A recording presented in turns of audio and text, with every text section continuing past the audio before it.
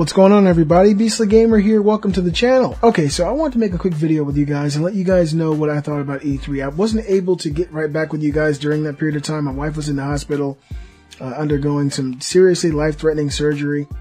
Uh, and so video games are the last thing on my mind. That's kind of why I've been kind of slow on my channel, but things are starting to warm up again and I'm getting back into the groove of things. All right, so today I want to talk to you guys about my thoughts on E3. E3 was really exciting for me when I finally got a chance to uh, to peep it and, and see what was going on out there. The Xbox conference, Xbox won this year. That's from a guy wearing a PlayStation shirt. Um, they did win this year. They were really exciting. Uh, the Xbox One X looks stunning. The console design, everything looks great. It's really tiny, smaller than the PS4 Pro, more power.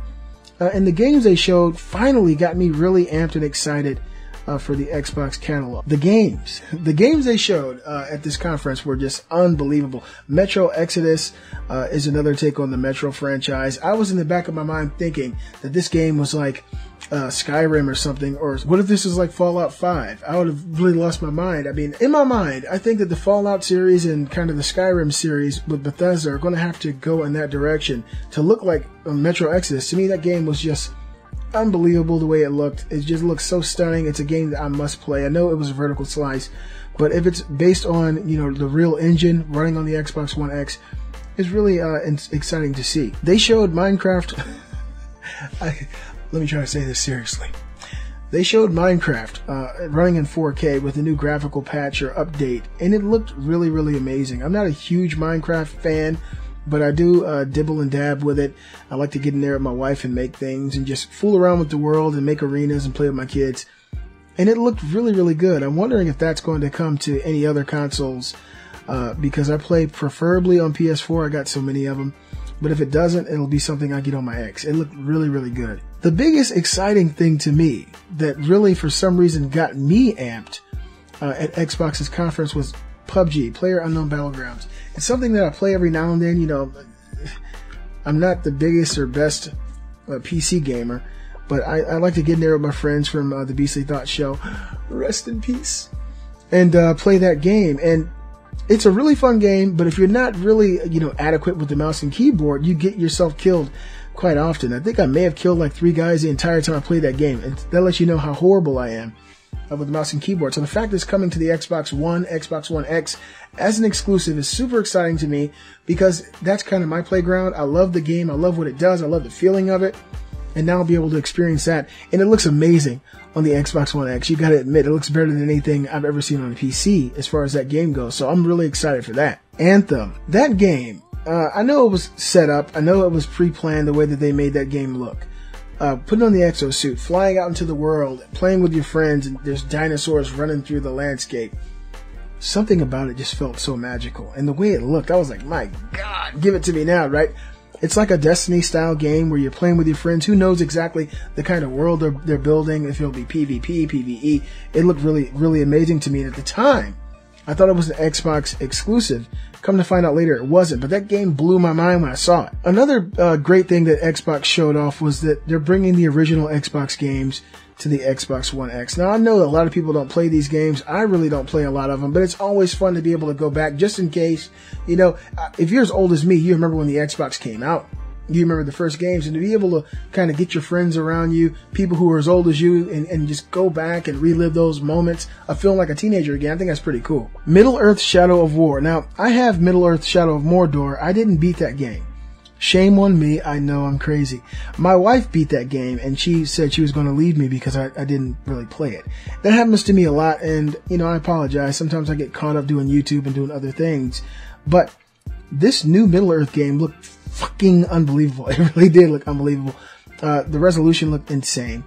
Uh, the creatures, uh, the orc that was kind of, you know, the good guy now, and the way that they've crafted these like orcs that you can control, and they gave them real personality and made you really like them. It just seems like they've built this game around the characters And to me, that feels kind of like a Lord of the Rings film or something where you're going to care about each individual orc you meet. Some might be badass, some might be real quiet, and some might be like this really funny giant orc that just talks a lot of shit. To me, that's really exciting to see the way that they're kind of changing that whole uh, dynamic from the Nemesis system that was in the original game to kind of adding to it and giving these guys all this personality, kind of make you really feel endeared by them. And to me, that was a big deal. Now, moving on to the whole premise of this video, we're talking about 4K resolution. Uh, 4K is a big deal. Everybody's been talking about 4K, especially Microsoft. We know that Microsoft has done quite a bit of jibber jabbing over the last six months or so, talking about the PlayStation 4 Pro, how it's 4K, not truly 4K. Uh, they've been talking smack about the fact that Sony's been using checkerboard rendering to render up to 4K to really kind of cheat the system, so to speak. And they've been really saying that the Xbox One X or the Xbox Scorpio at the time was going to be a true native system that games were going to play natively on it at 4K at 30 or 60 frames per second. And so that's really what a lot of people were expecting. I'm not a huge Xbox fan, but that was, it did wet my palate. It really made me want to see if they were really going to, you know, deliver this. And of course, I'm a huge fan of Digital Foundry. I watched some of their early mock-ups of what they thought the Xbox Scorpio was going to be. And of course, Leadbetter said more than likely it wouldn't be able to hit true 4K. Here we go, E3, we're seeing a lot of games. I named off quite a few of them let's see, I, I named Metro Exodus, Minecraft 4K, uh, PUBG, Anthem, Forza 7, uh, the original Xbox games, and Middle Earth Shadow of Mordor. The only game in that entire list that uses native 4K besides possible, in my mind at least, Minecraft would have to hit 4K. If it doesn't, there's a problem. The only true native 4K game in that list is Forza 7. Forza 7 is the only one that, that runs natively at 4K without that dreaded term which all the other games in the list use, checkerboard rendering. That thing that Phil Spencer said that the Xbox One Scorpio or Xbox One X would not do. So there is an issue there. Uh, there is more power beyond the shadow of a doubt. The Xbox Scorpio is capable of more, but it's not capable, apparently, unless you get true first party exclusives on that console to do it with third party games. It appears that they're using dynamic scaling, dynamic resolution in games like the new Assassin's Creed, uh, and, and that, of course, can fluctuate and checkerboard at the same time. And every other game, including games like Anthem, was using checkerboard rendering. So what does this mean for the future going forward? Microsoft was unable to deliver on their promise. At least that's the way it looks coming out the gate. There's a lot of uh, checkerboard rendering, dynamic resolutions going on. The PS4 Pro promised the same thing, 4K gaming, and they came out of the gate with checkerboard rendering, which to the naked eye, I guess looks as good as regular 4K. I have two 4K TVs in, in my studio, and uh, when I play 4K games or even checkerboard rendered 4K games from the PS4 Pro, they look stunning, uh, unbelievable to me. And even upscale from lower resolutions in 4K, the the techniques that Sony use or developers have used to make these games look 4K and render at 4K have, to me, been unbelievable. So as a console gamer, I'm ready to concede the fact that 4K gaming is not going to be ubiquitous ac- across the board when it comes to consoles. I think the Xbox One X exclusives or um, maybe some of the games they're planning on upresing will have 4K capabilities. More than likely, a lot of them will have this checkerboard or this kind of mesh technique used to attain 4K resolution and 4K assets. We'll probably see more and more as time goes on when, when developers uh, begin to really harness the power of the Xbox One X. But for now, I think that the PS4 Pro is direct competition for the Xbox One X. I think that Microsoft's big deal right now, believe it or not, is still the Xbox One S.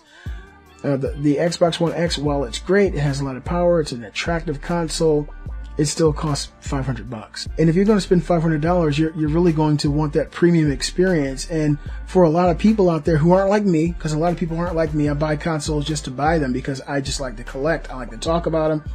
If the average person might want to buy a PC, you know, spend a thousand dollars, get a, a nice gaming PC, which outdoes the Xbox One X or the PS4 easily. So it all depends. But to me, that the whole prospect of getting a 4K, a native 4K resolution at home has kind of died. In my mind, it's kind of been blown out of the water. Okay, we can talk teraflops on top of teraflops. From what I've seen, there's still not enough to render a native 4K image at a decent frame rate because developers will be doing it. They've been working on the Xbox One X for a long time. PS4 Pro has been out since last November, and they still have issues getting native 4K unless it's uh, indie or something like that. So, in my mind, and I want to know what you guys think in the comments, is the, the prospect of truly native 4K gaming from a home console still down the road? Do you think they're going to be able to pull this out with the PS4 Pro or with the Xbox One X in the future? In my opinion, the Xbox One X is more likely to get that, but from what I'm seeing right now, uh, they're still going to have many, many games that use this checkerboard rendering because one to one, it's really hard to tell if something is 4K or if it's checkerboarded up to 4K. I mean, I've been playing 4K games for a while now, and it's still hard for me to tell. Like when I go to my PS4 uh, Pro up up-res graphics, it's really hard for me to tell if it's checkerboard or 4K. And I watch a lot of 4K content, so the technique is very sound technique. It's not like a sloppy technique. They did their damn job uh, getting it up to that resolution. And I think for console gamers on 4K TVs, checkerboarding should do us just fine. You guys let me know what you think in the comments below. Be sure to give a thumbs up, guys, and show support for my channel. Join my Facebook group, follow me on Twitter. And if you'd like to show your support, you can always go to my Patreon and pledge there. I'm the Beastly Gamer, and I'll see you guys next time. call, make my body go. Take our bodies higher and higher.